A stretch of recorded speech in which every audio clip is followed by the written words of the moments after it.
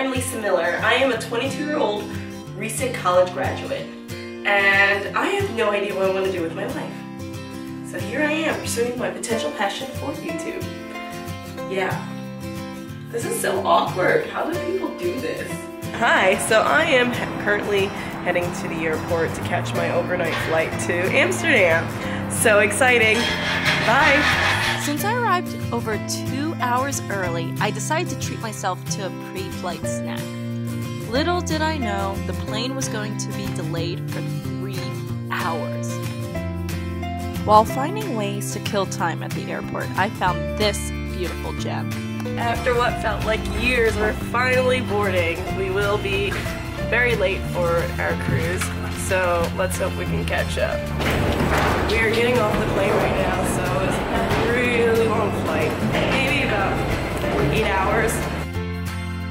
Due to the delay, we landed at 11:30 a.m. at the Schiphol airport. This delay made it impossible to reach the boat in time for its departure. Though we didn't catch the boat in Amsterdam, we were fortunate enough to get it in Spaarndam, which was only 30 minutes away by car. So we just arrived in Spaarndam. It was a wee bit hectic to get here.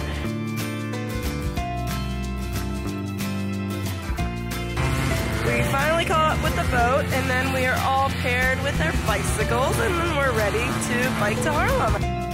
As a very inexperienced biker, this stick figure diagram was extremely helpful.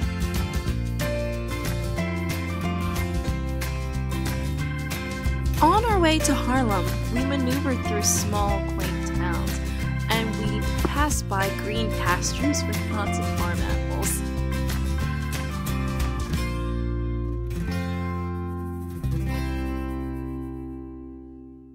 We've encountered our first windmill on the trip. There.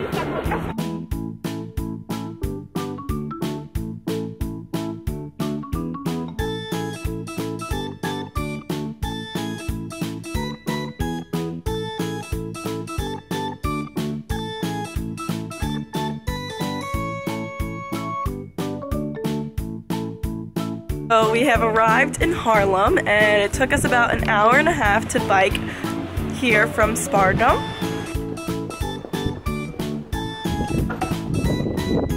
These trees are mounted in a way where they're forced to be flat. That's so cool. Building right here is the biggest church in Haarlem and from a bird's eye view the building actually looks like a cross.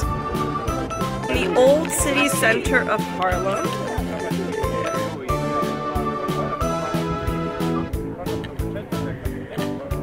It's so pretty here. So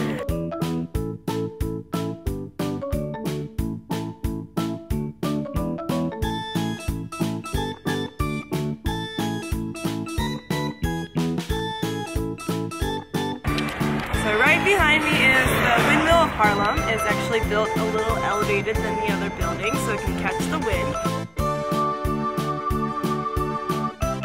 This is what our accommodation looks like. It's two beds and a very small bathroom, but the accommodation's pretty good. So this concludes the first day of my biking tour in the Netherlands. I hope you enjoyed my first YouTube video. Please feel free to comment below. Or not. Have a wonderful day. Bye!